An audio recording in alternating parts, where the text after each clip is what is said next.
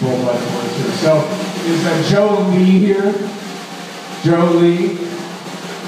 Okay, well, Joe Lee, I, I selected you as the winner, and you're not here, so I'll send you an email. Fictional We're negotiating about the prize.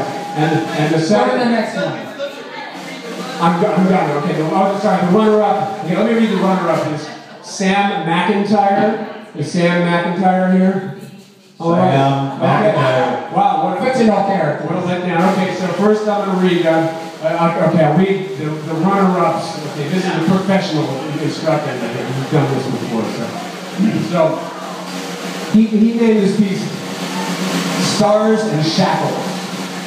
In this evocative piece, visionary anti-establishmentarianism junkyard artist Javier de la Blaze conjures up themes of bondage, misplaced patriotism, and the tragedy of love. The sculpture created entirely from reclaimed materials, single sourced from an abandoned Des Moines, Iowa junkyard, represents the ultimate futility of the struggle for oneness in, in our cis heteronormative socioeconomically straitened world. The mannequin's anterior tassel contains a lock of the artist's hair, dyed red to represent modern societal subversion of the human condition. Right? Yes. How could I not pick that one? Well, good runner-up. He's going to get a good prize. Okay, but the winner, um, Joe Lee. Wish Joe was here. I would have had. I would have had these guys read the, read, the, um, read their statement here. But uh, okay, this one's called "Lady America's Grenade Comes Home to Roost."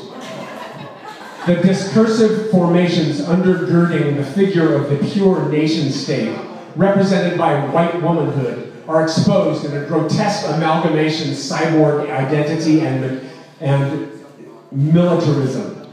Once the romanticized symbol of nationhood, the deformed female body teeters on the brink of symbolic suicide. Oh, wow, heavy. Okay, there you go.